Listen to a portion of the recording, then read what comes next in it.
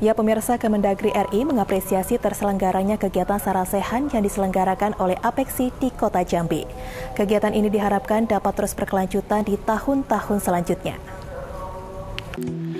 Bertempat di salah satu hotel ternama di kota Jambi, kegiatan Sarasehan Nasional Istri Wali Kota se-Indonesia untuk pertama kalinya diselenggarakan oleh Asosiasi Pemerintah Kota Seluruh Indonesia atau APEXI. Turut hadir dalam kegiatan sarasehan ini, Inspektur Jenderal Kementerian Dalam Negeri Tomsi Tohir Balau, Sekda Provinsi Jambi Sudirman, Ketua Dewan Pengurus Apeksi, dan sekaligus Wali Kota Bogor Bima Arya Sugiarto, Wali Kota Padang Henry Sapta, dan para istri Wali Kota se-Indonesia lainnya. Inspektur Jenderal Kementerian Dalam Negeri Tomsi Tohir Balau menyampaikan bahwa Mendagri mengapresiasi atas terselenggaranya kegiatan Apeksi ini. Dirinya berharap kegiatan ini dapat terus berjalan ke depannya. Ya, kami dari Kemendagri sangat mengapresiasi dan mengucapkan terima kasih kepada semua wali kota Jambi, begitu juga ketua APC, Bima.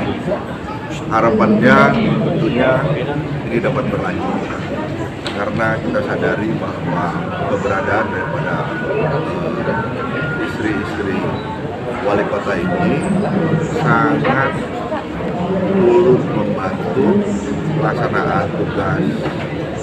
Sementara itu, Ketua Dewan Pengurus Apeksi Bima Arya Sugiarto mengungkapkan bahwa istri-istri wali kota ini bukan hanya sekedar pendamping saja, namun juga sebagai penggerak dalam suatu pembangunan di wilayahnya. Ini dan acaranya side event, ini kita angkat menjadi yang utama jadi istri wali kota itu bukan pendamping, tetapi juga aktor utama. Ketua tim penggerak PKK, ketua Dekranasda, Muda PAUD, jadi motor pembangunan juga. Jadi ini sejarah baru. Terima kasih ke Pak. Dimulai di Jambi, akan dilembagakan setiap tahun ke depan. Bukan saja untuk menunjang uh, tugas suami, tetapi lebih kepada melakukan akselerasi perubahan dan pergerakan kota. Sandi, Cek TV, melaporkan.